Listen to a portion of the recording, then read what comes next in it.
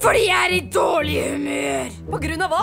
Å, jeg vet ikke. Kanskje fordi det nettopp um, Han er i et så dårlig humør at han klarer ikke engang å avslutte et sarkastisk comeback. Se på gutten der, da.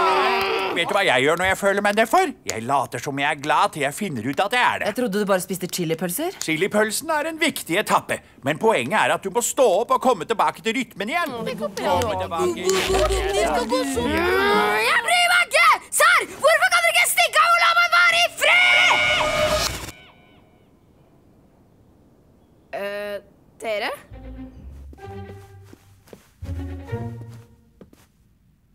Hvis dere alle gjemmer dere for at jeg skal stå opp, vil jeg peke ut at jeg teknisk sett ikke har gått fra sengen min, så dere vinner ikke!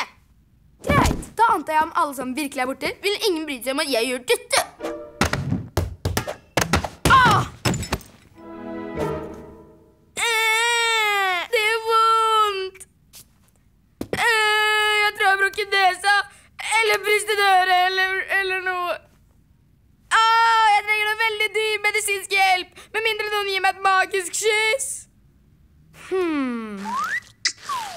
Hva er det som egentlig skjer her?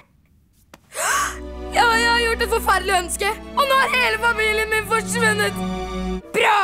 God morgen, fru Pumpernickel. For en fantastisk dag. Ja, det er fordi vi bor i Klesopolis, hvor ingenting kan gå galt. Kjære, det ser ut som at lille Jimmy vil fortelle oss noe. Jeg er Gumborg, din skaper. Yeah, Gumborg har kommet tilbake for å spørre kjærlighet og råd.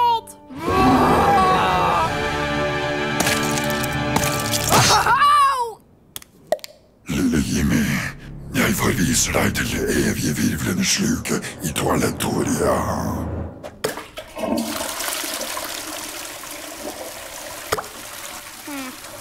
Gunborg ødeleggeren kommer tilbake når toalettvannet er klart. Å være i dårlig humør er ikke så gøy som jeg trodde. Jeg trenger noe som oppmuntrer meg. Noe som vil føde sinnet mitt og hjertet mitt og fylle det med glede. Noe som beviser for meg at verden ikke er så ille allikevel. Åh. Gjennomsnittlig 46% av innsjøene i Norge er for overfylte for fisk, et planteliv eller svømming. Og det tallet forventes å stige de kommende minuttene.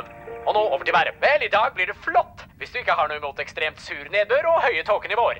Og her har vi en familie med sjeldne gylne padder. De eneste tre av sitt slag igjen på planeten. De eneste to av deres slag igjen på planeten. Eh, den eneste av sitt slag igjen på hele planeten. Og nå til reklamepausen. Er du misfornøyd med hvordan du ser ut? Det burde du. Med vår sjampo kan du desperat prøve å reparere uoppnåelige standarder og digitalt forgudet skjønnhet. Ah, hva i hva? Dette er første gang TV-en ikke har gitt meg svarene! Eller i det minste distraherer meg fra spørsmålet. Det må være noe som kan få opp humøret mitt! Å, jeg vet det! Musikk! Jeg skal bruke musikkens kraft! Se på meg når jeg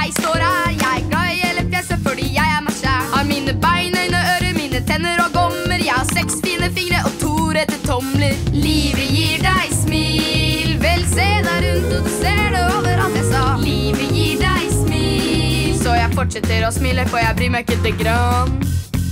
En kjappis-dusj kan løfte deg fra gropa. Selv om dusjåringer bare fester seg til rumpa. Jeg er glad i jus, og jeg drikker det hver dag. Men etter jeg har pussa tenna, ja, da smaker det så rart. Jeg liker lukten av blomster, men det gjør også bier. Og så pollen er ku! Den gir meg allergier. Og TV-spill, det gjør jeg alltid når jeg er hjemme. Men etter en time så begynner tomlene å flemme.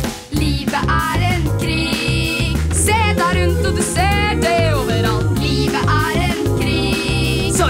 Så jeg prøver å komme gjennom latter som at det går bra. Dette spillet er for hardt, jeg står fast på level 8. Det er ikke det eneste jeg hater på en måte. Jeg har solen på skjermen, og nettet er for treigt. Og isen blander brøsjen ut om du ikke veit. En dryppende vask og en knirkende dør. Man er så slitsom at jeg klarer